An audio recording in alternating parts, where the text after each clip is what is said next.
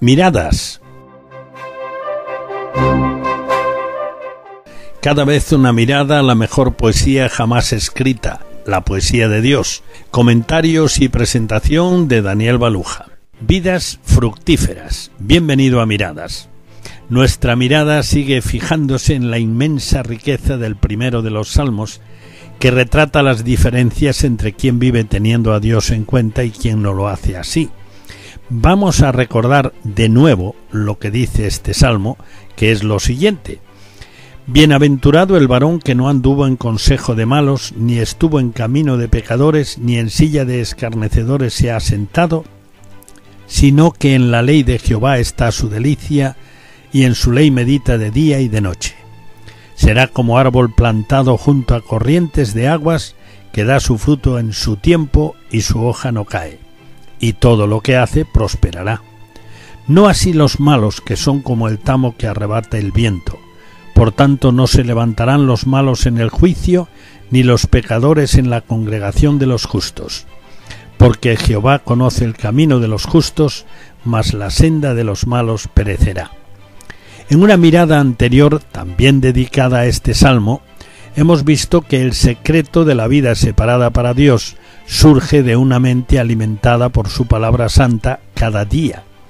Hoy nuestra mirada se detendrá en una de las consecuencias, el aspecto de la vida de la persona cuya separación de las costumbres que le circundan se basa en la meditación de la palabra de Dios.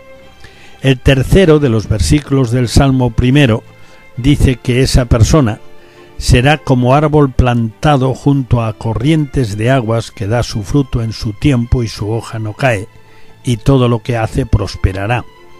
No perdamos de vista que está hablando de la relación con Dios. El versículo dice cuatro cosas muy interesantes del aspecto de la persona que agrada a Dios. Primero, su fortaleza, pues es como árbol plantado junto a corrientes de aguas, y la primera condición para que un árbol crezca fuerte es tener agua cerca. Sin duda se trata de fortaleza moral, la que produce tener la certeza de que sus opiniones están bien fundamentadas en Dios mismo. La segunda cosa son los resultados de su vida, pues dice que da su fruto en su tiempo. Los resultados de su vida se verán en la madurez de su carácter, y eso lleva su tiempo, pero se ve con claridad. Una persona con la madurez que se alimenta de la mente de Dios llama la atención.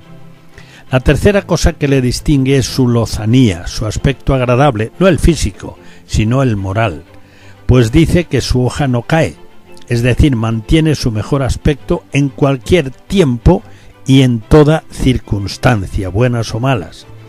La paz del Señor en el carácter de una persona siempre impresiona, sobre todo cuando las cosas le van mal. Y llegamos a la tercera parte, que es la más fácil de equivocarse, la que dice, y todo lo que hace prosperará.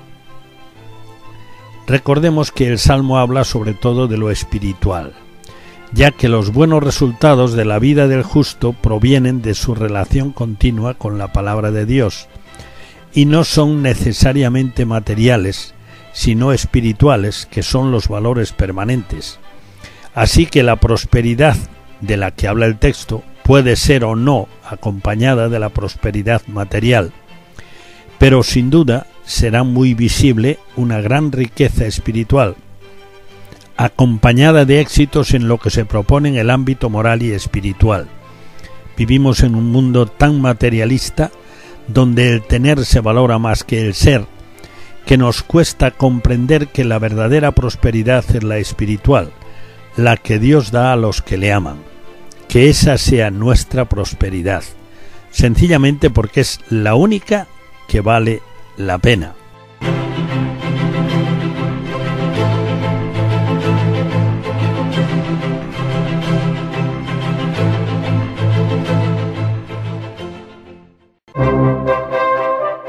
Hasta una próxima mirada. Dios te bendiga.